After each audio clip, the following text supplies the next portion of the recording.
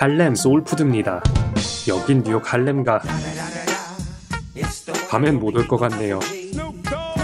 유명한 햄버거 집이 있는데 할렘 쉐이크라고 장례식장 근처에요. 예전에 여기 스눕독 리뷰를 한 적이 있는데 오늘은 햄버거입니다. 힙합, 재즈 아티스트는 물론이고 방송인, 대통령도 오는 맛집이거든요. 햄버거 하나에 10달러? 달라 햄버거 두 개, 치킨 샌드위치 하나입니다. 아, 야채는 제가 추가한 거예요.